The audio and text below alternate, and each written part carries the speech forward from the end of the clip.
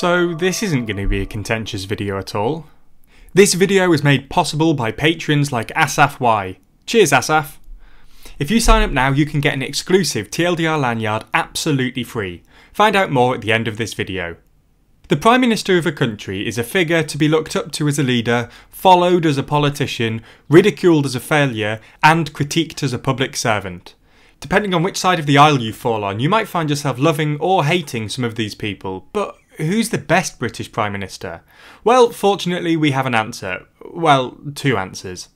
Firstly, Professor Kevin Theakston of the University of Leeds asked 93 academics working at 44 UK universities to score every post war Prime Minister on a scale of 1 to 10. They then went deeper into modern Prime Ministers, ranking their impact across five different factors. Then, to add to the fun, we also have a second, less scientific metric. We then asked our audience which Prime Minister was the best across each of these five categories to create a viewer ranking. Let's start with the experts, though, as no offence to you guys, but I do trust the academics slightly more than a crowd of people who listen to mine, or usually Jack's, voice for fun. Let's start with the first of the five categories and look at all of the PMs since Thatcher. According to the experts, the Prime Minister with the greatest impact on society is Tony Blair, with Brown being the only other to receive a positive rating. At the bottom of the list, with a negative 67, was Thatcher. So it's clear that the academics highly rate the New Labour project, at least on its ability to change society. This could be related to legislation such as the Civil Partnership Act, and while it took another decade for gay marriage to be adopted, it did shift us towards a more tolerant society, especially in the wake of Thatcher's Section 28, something that was also repealed by New Labour. Another potential reason why New Labour have been seen as a positive on its impact on society is likely to do with its ability to help those that are worse off. New Labour were able to reduce child poverty massively with policies such as Sure Start, which aimed to give all children the best start in life possible, maternity pay, paternity pay, and the national minimum wage, further demonstrating their contributions to improving society.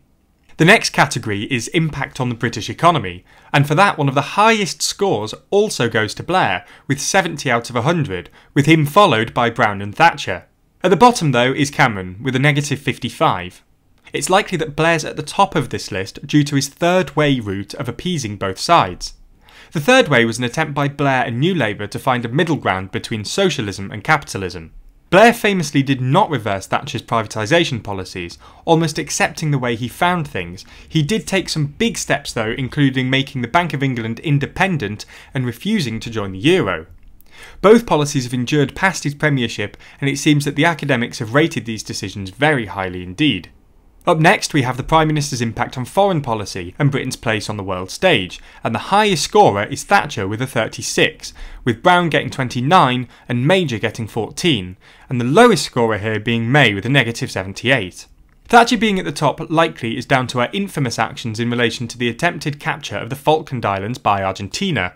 Thatcher argued that Britain's victory was a victory of democracy over tyranny, as Argentina at the time was led by a dictator. Perhaps this was why the academics rated her so highly. Or perhaps it was due to her negotiations with the EEC. In 1984, Thatcher was successful at negotiating a 66% decrease in the UK's financial contributions to the bloc.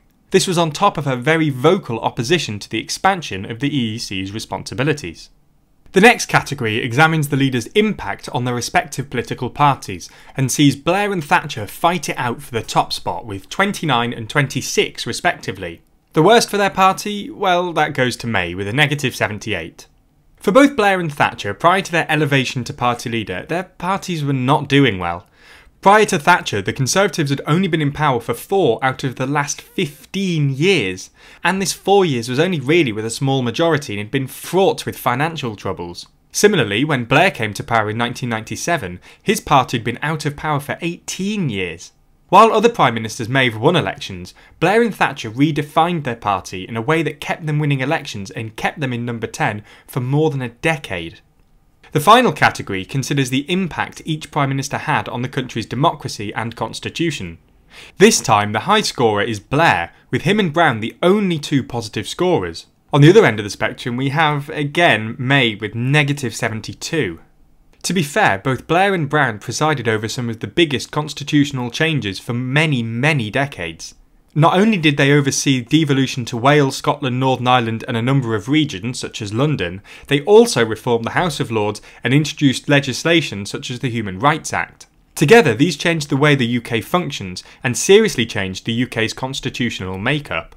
If we combine these rankings, then you get an overall mean score out of 10, with 10, unsurprisingly, being the top score. Weirdly enough, though, there's a tie for last place, with both of them scoring 2.3 out of 10, in joint last, we have Theresa May and Anthony Eden. In 12th is Douglas Home, then David Cameron and Edward Heath. Then there's a three way tie for 7th, with James Callaghan, Winston Churchill, and John Major all scoring 5.1 out of 10. Just missing out on the top 5 is Gordon Brown, who was beaten by the Harolds, Macmillan and Wilson. In the bronze position is Tony Blair scoring 7.7.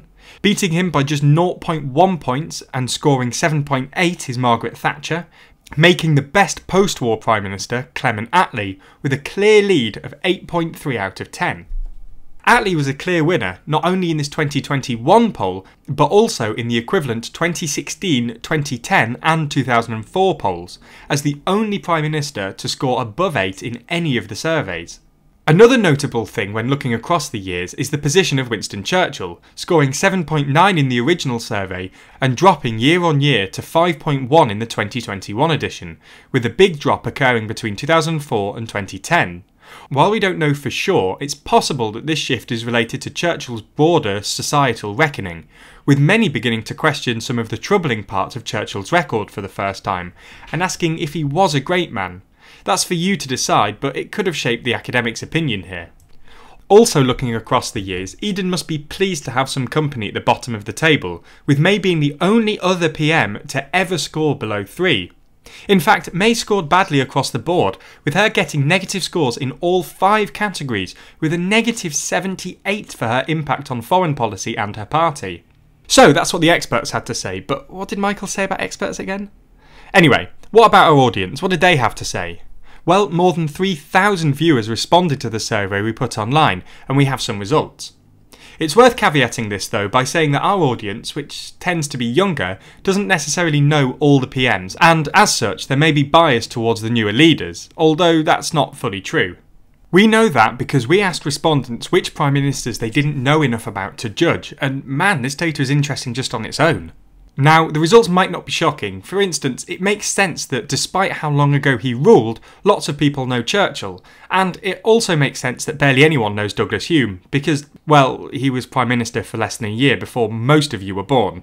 But the data's still interesting, showing a whole group of leaders people aren't familiar with pre Thatcher, as well as a couple of others that stand out. Both Major and Brown, relatively unknown considering how recent they were in number 10.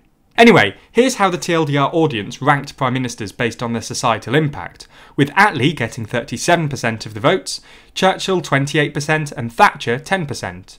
When it comes to the economy, the audience put Thatcher at the top, earning 39% of the vote, compared to second place Attlee's 20% and third place Blair at 18%.